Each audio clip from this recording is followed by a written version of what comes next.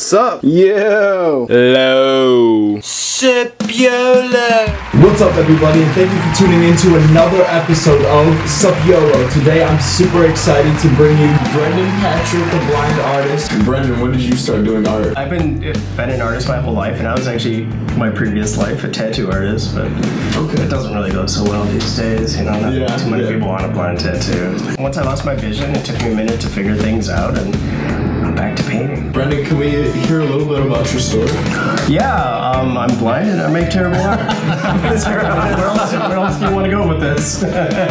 So, I actually I was thinking of a, Okay. a concept Yeah. earlier that was kind of interesting. Is that when you don't get to see your art, um, usually like one of the artists' biggest things is, oh, I'm not happy with that piece of art yet. Oh, that's not good enough. That's not good enough. But with you, I feel like it could all be good enough. You know, it's it's all. But so have you just How do you determine what's good Um, to you? Well, I think that was Mona Lisa. right. I think that was an interesting point when I first started painting again after losing my vision. Right. Um, because you know I'm not staring at my piece days after I've you know think that I've finished it and going back and throwing some details.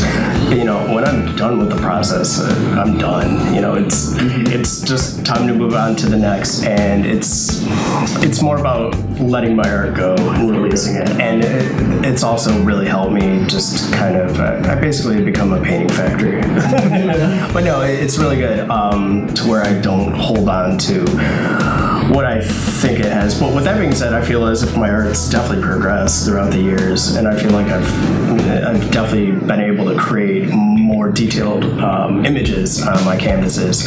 Um, a thing that I've been doing lately is picking up toys and actually feeling the dimensions of the toy and uh, applying the dimensions onto the canvas and trying to That's recreate. interesting. Yeah, uh, I think.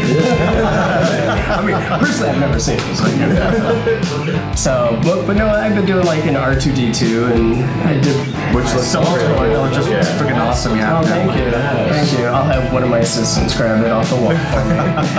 um, but yeah, no, I. Um, so yeah, that's been a new thing, and that's really kind of taken my art to a new level for me, and just uh, so yeah, a lot of it's pretty nerdy, like Star Wars stuff. How do you determine what you're gonna paint? That's a good question. I feel that's the hardest part for me actually is just coming up with concepts. Yeah, I feel like the execution is easy. It's the concepts that are hard. And Execution is the easy. Oh yeah, painting. Uh, but I, I think really just a lot of meditating and um, just trying to trying to open up my mind and kind of find that relaxing state and let my imagination open up and try to pull images out of my head. You know, I, I had mentioned that I lost my vision at 26, so I, I had a lot of time to see. um, so I mean, I still have like a backlog of a whole catalog I, was really into old monster movies, and it- that played it plays a huge influence in my work.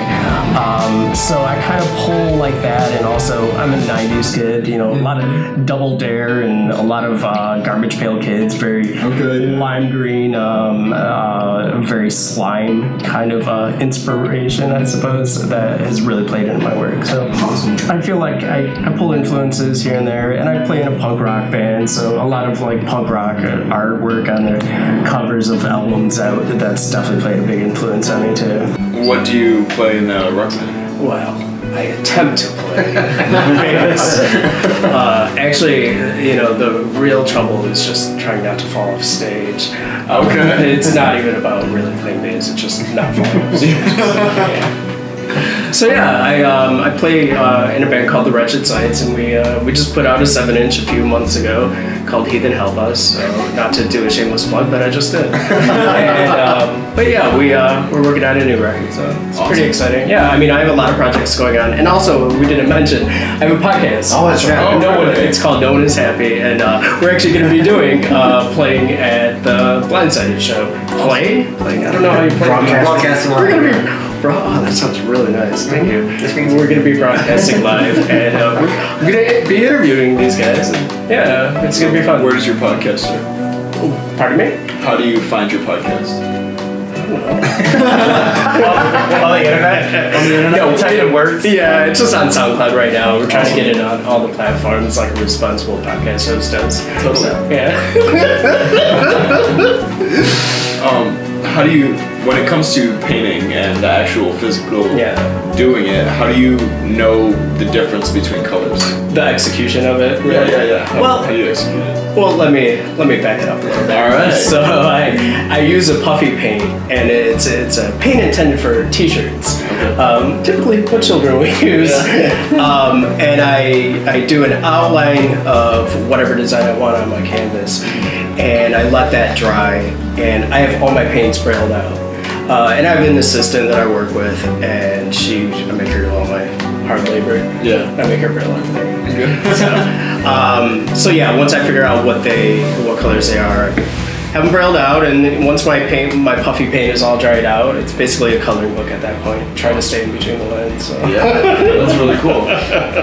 So when did you become blind and how did that happen? It was 2008. Um, I I have cystic fibrosis, and uh, I had a double lung transplant, and you know stuff happens, complications. So yeah, um, but it's cool. You know, I'm you know a lot of it's just working through and trying to keep myself busy. Yeah. and you know that's why I take on so many projects. That's a lot of time on my hands. How do you keep yourself in a positive light? Um, a lot of, a lot of positivity. no, uh, I mean it really, it really is my creative outlets that Awesome. have really helped me move along. And Well, I heard that there's actually a documentary being filmed. there is. It's called Can't See Shit. Okay. Yeah. It was my idea.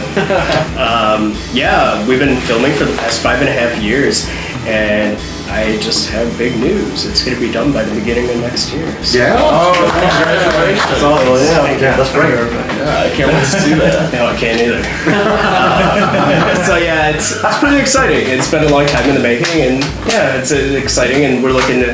We don't really have um, a place where we're releasing it at. We're looking to take it on the road and doing some film festivals. So that's Oh, yeah. the general idea. And so hopefully, fingers crossed.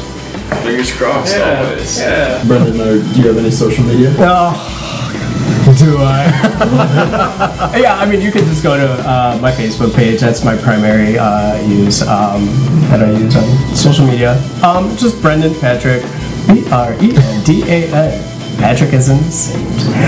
Thank you guys very much. Thanks for, uh, thanks for Thank you so us. much for having us on. It's wonderful. Appreciate Thank it. you. Yeah, yeah, appreciate this. Thank, Thank you. you. All right, guys. Thank you so much for tuning in, and Doctor, we'll see you doctor, next doctor, week. doctor, doctor, Doctors, doctor, doctor, doctor, as always, doctor, doctor, doctor. Ken Lewis.